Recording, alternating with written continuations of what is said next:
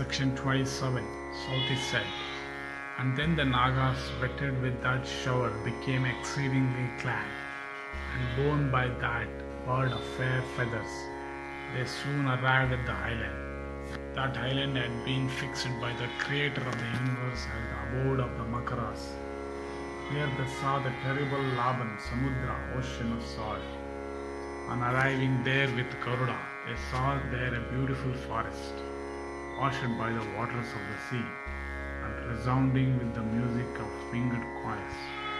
And there were clusters of trees all around laden with various fruits and flowers. And there were also fair mansions all around, and many tanks abounding with lotuses.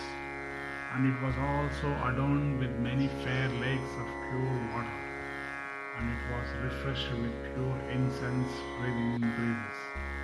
Was adorned with many a tree that grew only on the hills of Malaya, and seemed by their tallness to reach the very heavens. And there were also various other trees whose flowers were scattered all around by the breeze. And that forest was charming and dear to the Gandharvas and always gave them pleasure. And it was full of bees maddened with the honey they sucked. And the sight of all this was exceedingly delightful, and in consequence of many things there capable of charming everybody, that forest was fair, delightful, and holy, and echoing with the notes of various birds, it delighted greatly the sons of Kadru and the snakes, after arriving at that forest, began to enjoy themselves. And they commanded the Lord of Birds, with Garuda, great energy, saying, Convey us to some other fair island with pure water.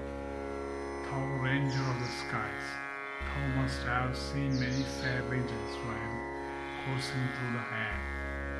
Garuda, after reflecting for a few moments, asked his mother Vinata, saying, Why, mother, have I to do the bidding of the snakes?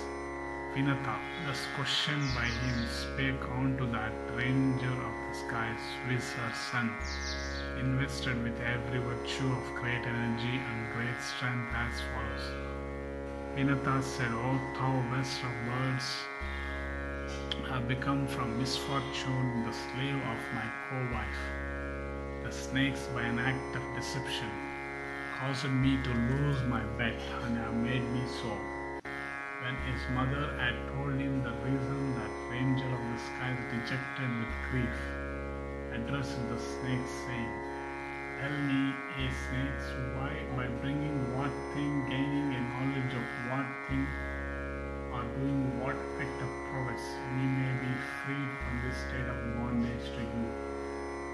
So he continued.